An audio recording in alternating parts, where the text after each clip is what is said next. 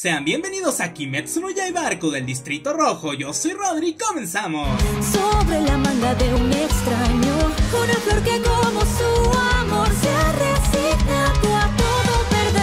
Después que Akasa doneara a Rengoku y nos echáramos una lloradita, Musan se hizo niño y lo adoptó una familia muy rica y está en busca del licorice azul para ser inmune al sol. Tanjiro cumple la promesa con Rengoku de ir con Senjuro a darle sus últimas palabras, pero el borracho mancha el nombre de su hijo, se los madrea y menciona que la danza del dios del fuego es la respiración solar y la fundadora. Así que acércate viejo, acércate y tómala. Los libros de los antiguos pilares los destruyó y no hay mucho que hacer ahora, pero antes de irse le dan el guardamanos de Rengoku para guiar su camino. Y el papá reflexiona al final escuchando sus últimas palabras entre lágrimas. Hagan Nezuka se quiere madrear a Kentaro por perder otra espada, pero al final Aoi y las tres lolis lo ayudan a escapar. El tiempo pasó, entrenaron, quedaron mamadísimos y cumplieron misiones, en donde Nezuko también mejoró sus habilidades. Pero un día al regresar a la finca mariposa, hay un tipo queriendo llevarse a Aoi y una loli, y por primera vez Kanao escucha su corazón para salvarlas, pero ni así pudieron, hasta que Cabezazos Locos llega, y por fin Usui Tengen, el pilar más llamativo, dice que se las llevará. Bueno, a la nana no, y para salvar a Aoi le dicen que eran los tres protas en su lugar, así que ¿a dónde iremos? Al distrito rojo. Y tengan pechos sensuales quiere que lo alaben como un dios. ¿Pero dios de qué? ¿De lo vistoso? ¿De las montañas? ¿De los pendejos? Ya vámonos mejor al lugar donde se duerme de día y la noche cobra vida gracias a las Oiran. ¿Saben a lo que me refiero, mentes cochambrosas? Porque Zenitsu sí. La misión será encontrar a sus tres esposas Kunoichis infiltradas dentro del distrito, Makio, Hinatsuru y Suma, porque un día dejaron de mandar cartas y no se supo más de ellas. Así que cada uno irá a una de las casas sospechosas, pero vestidos como Senku, Inoku y Sumiko. Wash en el paisaje, homies. Eh, mejor no.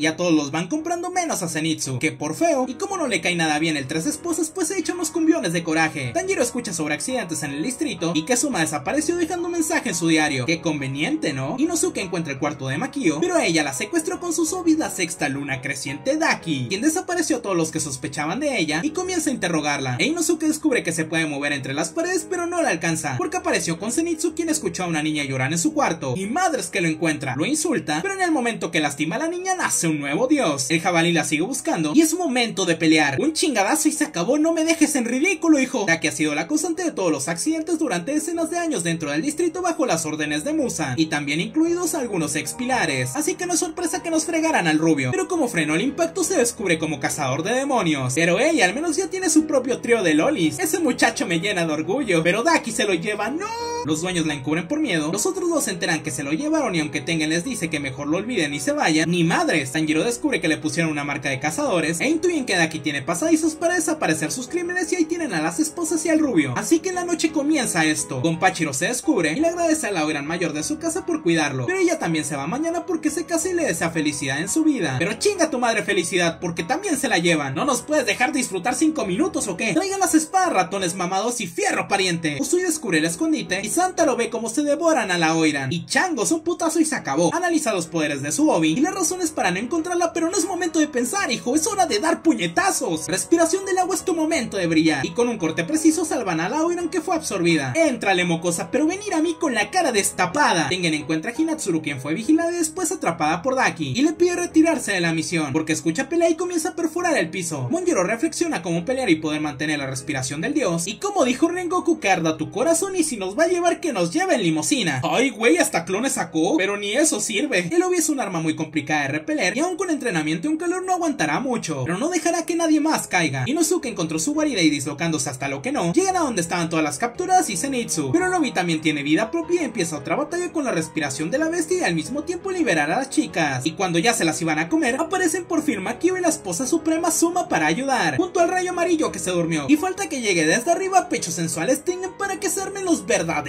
guamazos. Por fin todas las chicas han quedado libres y todas las esposas están con vida, cumpliendo su misión e ideales del pilar que les dice que primero su vida y que se chinguen los otros. Y así es como enamoras a tres de golpe, anoten el dato por cualquier cosa. It's showtime. Tontaro sigue aguantando con la danza, pero no soportará mucho solo. Y lo que quedó del lobby derrotado regresó con Daki, haciéndola convertirse en su forma suprema. La gente comienza a salir y nos rajan medio distrito de un golpe. La desesperación lo recorre y aparece el primer flashback power up con el papá Rengoku, agradeciéndole por hacerlo apreciar lo que una vez perdió y Tanjiro lo interpreta como la importancia de la vida y el desprecio para quien la quita. Comienza el segundo round, perros. Y Daki entre los recuerdos de Musan ve a un tipo parecido a Tanjiro. Usui y los otros van en camino, pero en lo que llegan, esto ya casi se ganó porque trae el ultra instinto ahorita. Bueno, casi, porque su cuello lo puede hacer y es casi imposible de cortar, pero eso se la suda al prota, hasta que se da cuenta por su hermanita muerta que no está respirando. Es neta, te faltaban dos segundos, hijo. Y cuando ya casi nos lo truenan, aparece Nezuko-chan al rescate. Comienza el round 3. Cortes por aquí, por allá me regenero más rápido que tú. Y nace por fin la nueva waifu demoníaca. Ay, cabrón, ojalá no nos cancelen por esto. Y en el Power Up Flashback parte 2, tenemos al otro hermanito echándose su frase y pidiéndole a Tanjiro que la salve. Y chúpate esta patada besapisos. Aquí no hay piedad, señores, y ni en cachitos la detiene. Hasta sacó la técnica de sangre y toda la cosa. Aquí no venimos a jugar. Tenga para que se entretenga. Pero la sangre humana la termina confundiendo. Y Tanjiro llega a tiempo para dormirla. Pero huevos, ya regresó la otra encabronada. Y uff, pechos sensuales también, cabrones. En realidad bastante tranquilo y diciendo sus mamadas. Sí sabes que tienes a la sexta atrás, ¿verdad? Sí, ya lo sabía porque la corté al entrar. ¡Bam! ¡Wow! No vuelvo a dudar de usted. Al final, con unas lágrimas y una canción de mamá, logran dormirla y vuelve a estar chiquita. Pues ya ganamos, ¿no? Ni de pedo. Porque la sexta no se desintegró y comienza a hacer un berrinche llamando a su hermano. ¿En serio vas a llorar después de todo el desmadre que hiciste? Este cabrón le sale de por ahí y Tengen no pudo hacerle nada aún de espaldas. Aparece de una vez por todas Yutaro, la segunda parte de la sexta creciente. Tiene envidia todo lo que tiene Usui. Sí, también igual que nosotros las tres esposas.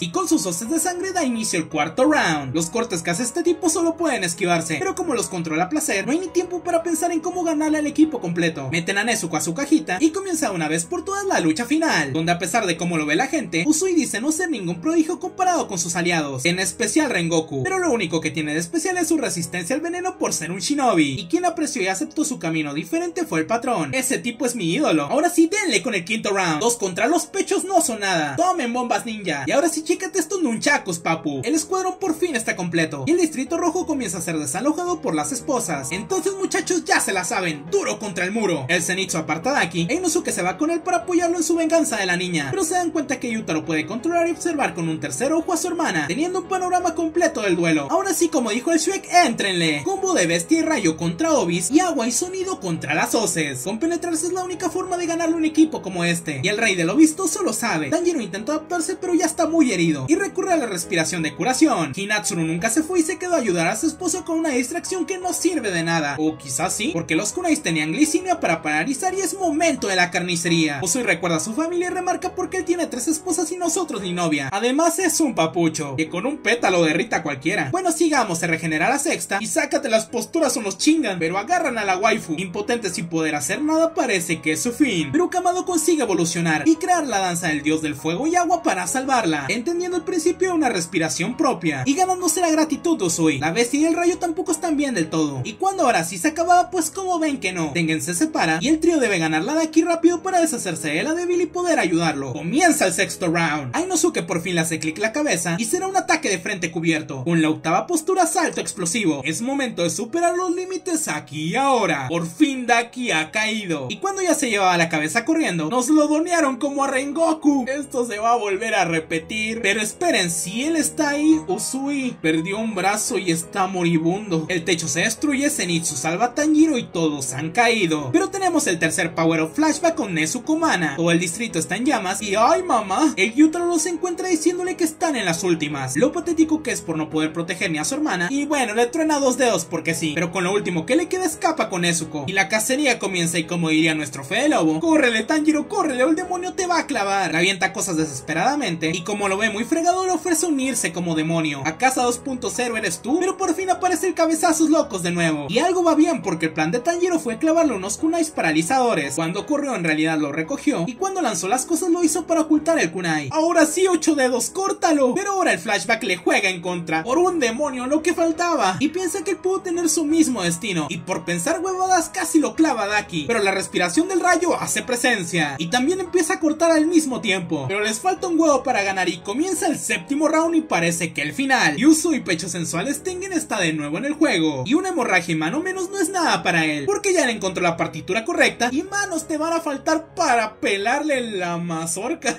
porque nada está por encima del sonido que encontró Tengen. La batalla final entra en el clímax y ninguno cederá. Y Tanjiro ya lo vivió una vez así que sabe que debe entrar a acabar el trabajo. Usui pierde un ojo y se la entierran a Tanjiro. Pero es la última oportunidad de triunfar y la marca de cazador evoluciona para darle el último power up de esta temporada. Zenitsu comienza a perder, pero el Donitas Bimbo sobrevivió moviendo sus órganos. Y ahora sí Nitorichan te va a salvar, hija de tú. La sexta luna creciente ha sido derrotada de una vez por todas. Pero algo raro pasa. ¿Cómo que algo raro pasa? Se nos ahoga Tanjiro y Usui le grita que escape, pero madre santa. Todo el distrito empieza a ser destruido con una bomba. Y Nezuko Chiquita en un intento desesperado por salvarlos, con su técnica de sangre logra sofocar el ataque y curar a la vez a Tanjiro del veneno de las hoces. Pero el más preocupante es el jabalí que está a de morir. Y cuando ya no había soluciones, aparece el Nezuko truco quemando todas las toxinas. Y Tengen está aún más puteado. Y la chillona de Suma que no lo deja dar ni sus últimas palabras, es mi favorita. Terminan siendo escuchados por Kamisama y llegó la salvación. Aunque casi nos la mata Suma, ¿eh? Y por fin el pilar más llamativo se alza con la victoria. Pero aún falta encontrar las cabezas y terminar todo de una vez. Así que usando el Nezuko Bocho, consiguen sangre de la luna creciente para que Tamayo la analice y llegan con los hermanos, donde pelean por quien tuvo la culpa y comienzan a decirse que ojalá el otro nunca hubiera existido.